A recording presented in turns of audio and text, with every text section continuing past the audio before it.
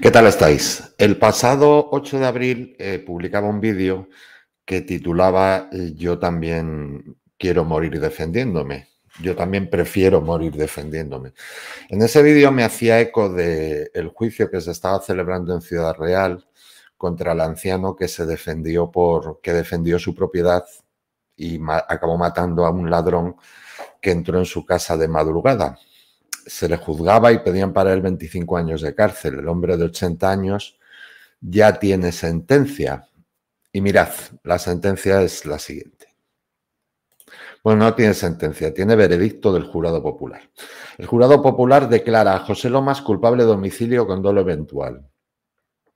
El jurado popular, jurado popular, ha emitido este sábado un veredicto de culpabilidad contra Lomas Espadas, acusado de matar al intruso que se coló en su finca en la Atalaya durante la madrugada del 1 de agosto de 2021, considerando al ex librero de Ciudad Real responsable de un delito de homicidio con dolo eventual, adoptándose la decisión por siete votos a favor y dos en contra. También se le ha aplicado al condenado la eximente incompleta de anomalía o alteración psíquica y la atenuante de confesión. El veredicto ha sido leído por la portavoz del jurado popular. El jurado popular lo ha juzgado esta semana en la audiencia de Ciudad Real y durante el día de ayer y la mañana de este sábado ha estado reunido para emitir su veredicto. De esta manera, el jurado popular considera probados los hechos de que el exlibrero jubilado fue el responsable de matar a tiros al intruso que se coló en su finca de la Atalaya, en este caso Nelson David Ramírez, el hombre de 35 años que entró en su finca supuestamente para robarle, aunque rechaza el cargo de asesinato que solicitaba la acusación particular y que pedía 25 años de cárcel para el acusado. Una vez conocido el veredicto, el Ministerio Fiscal, que pedía una condena por homicidio sin atenuante al entender que Lomas no actuó en legítima defensa, ha bajado la petición inicial de 12,5 años de prisión, solicitando finalmente 6 años de prisión para el exlibrero al existir la circunstancia atenuante de la confesión. Asimismo, y en relación con la eximiente incompleta, también ha solicitado que se le imponga al acusado la medida de tratamiento externo médico para controlar esa anomalía psíquica que incompletamente ha apreciado el tribunal del jurado. Por su parte, la acusación particular que ha representado a la familia del fallecido y que pedía 25 años de prisión al considerarle fallecido que tenía muchos antecedentes penales ¿eh? por, los, mismos delitos, al considerar que José Lomas actuó con alevosía cometiendo el asesinato, asesinato ha solicitado finalmente siete años y medio de prisión pidiendo a su vez 236.000 euros de responsabilidad civil. Finalmente, la defensa, que en principio pedía la solución del acusado, ha solicitado que se aplique al ex librero octogenario la pena más baja que se corresponde al delito de homicidio doloso con la eximente incompleta de trastorno psíquico, atendiendo la reducción en dos grados de la pena como establece el Código Penal. Ha solicitado además que se tenga en cuenta la atenuante de confesión y que José Lomas ya ha cumplido nueve meses y medio de prisión. Pese a ello, la defensa ha indicado que a pesar de que la respeta, no está conforme con la decisión del jurado, por lo que presentará recurso.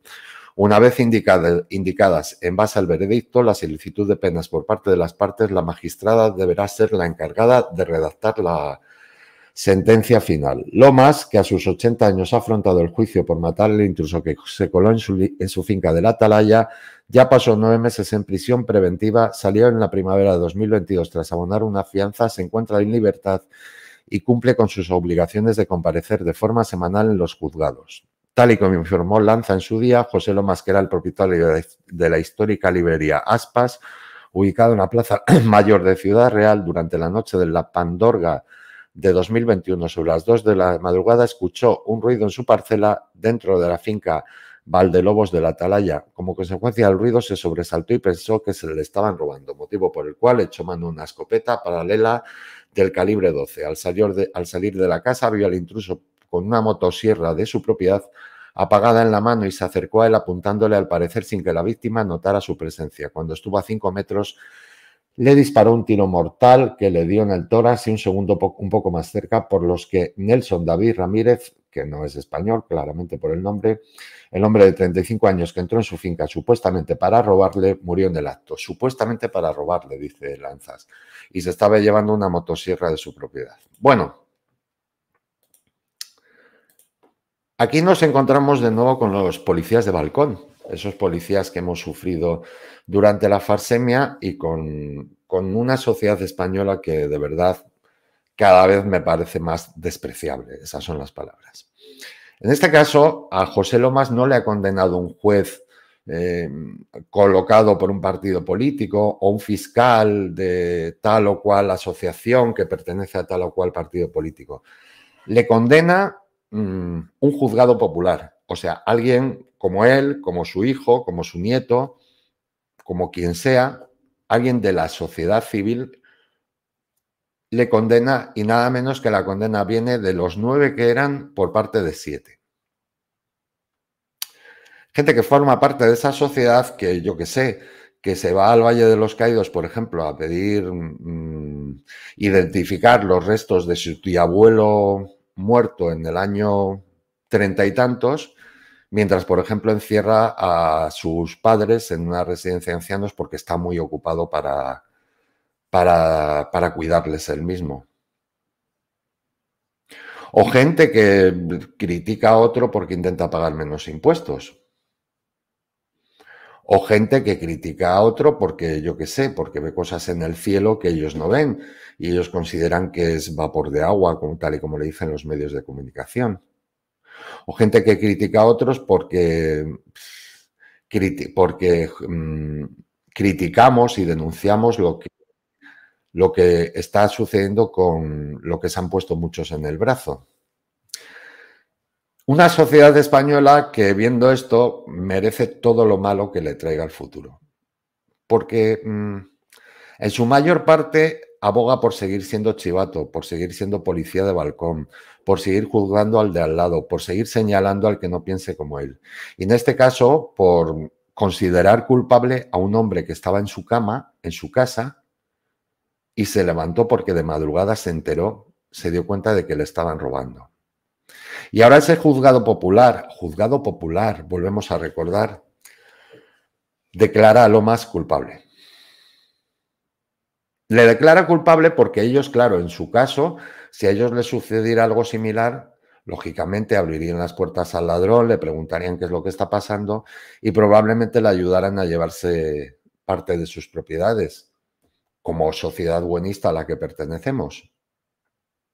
Y estos juzgan a Lomas en, en, lugar de considerar las circunstancias en las que se encontraba este hombre en un claro ejercicio de defensa propia, que es lo que es bajo mi punto de vista, cogen y a un señor de 80 años, 80 años, le consideran culpable.